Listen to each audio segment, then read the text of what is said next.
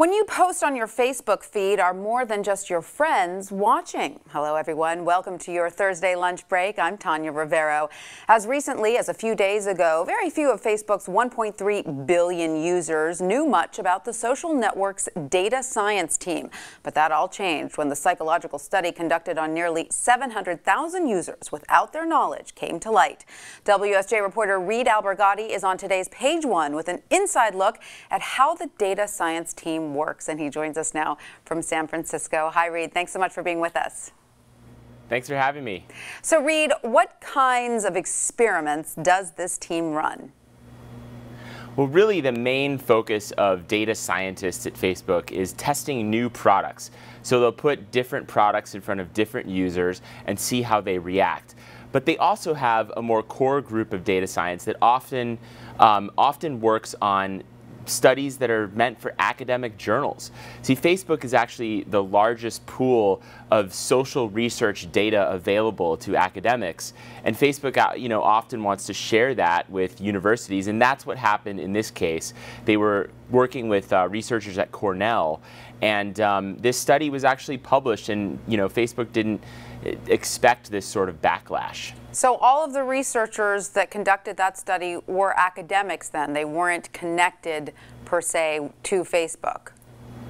No, there were also Facebook data scientists involved in the study. They were working with uh, two other researchers at uh, Cornell at the time when they were conducting this. And you know, it, what, what's interesting about the data science team is, you know, they've been publishing really fascinating articles for years since they were founded in 2007.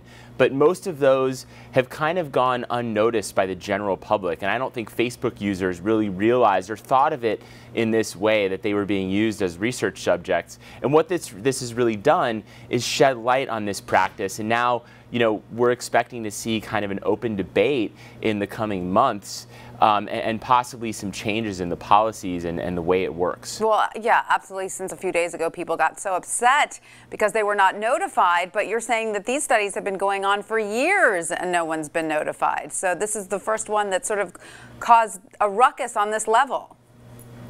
Right, and in fact, you know, the, the, the research subjects here, the almost 700,000 people, you know, they still don't know. And in fact, one of the unanswered questions here is, you know, could they be even notified in some way? Because the research, the data was actually anonymized. Um, so it, it's unclear whether Facebook could even find out who they are um, or where they were. We just know it was English speaking uh, people on Facebook. And it, it, also may have included minors. Um, that's another big question. So the, the real outrage here, though, is, is the fact that Facebook was potentially manipulating those people and, and maybe even intentionally making them a little bit sadder than they normally would have been because they were withholding positive newsfeed posts from some of those users. So that's what really, uh, what people really reacted to. Well, what has Facebook said recently in response to all this negative attention?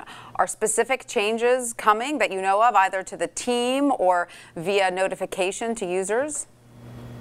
Well, yesterday, Sheryl Sandberg was in India and she gave a press conference, and a Wall Street Journal reporter asked her about this, and she said she was sorry that the, of the way that this study was communicated. So, in other words, you know, she doesn't think there's, it's unclear whether she thinks there's anything wrong with the study, but it used these sort of, these words like, you know, manipulate and, and they were sort of inflammatory. And I think there's a regret there about the way the study was, was portrayed.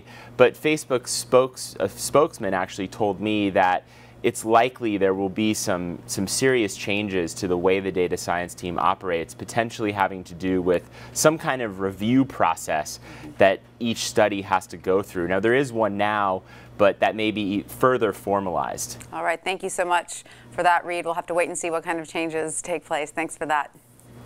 Thanks for having me.